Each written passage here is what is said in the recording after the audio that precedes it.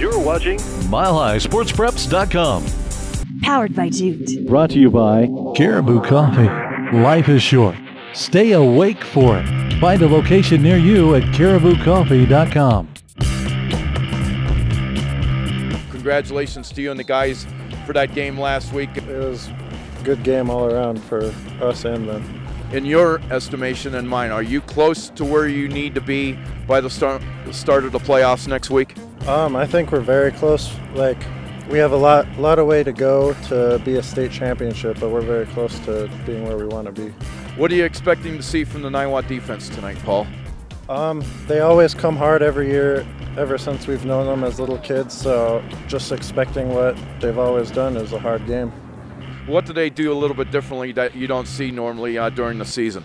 Um, they're they're not much different than every other team. They're they're fast and strong, and they all play very well. It's just we got to do what we always do.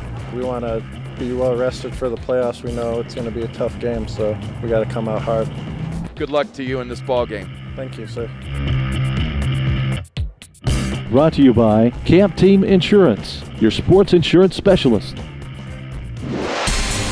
You're watching MileHighSportsPreps.com. Powered by Jute.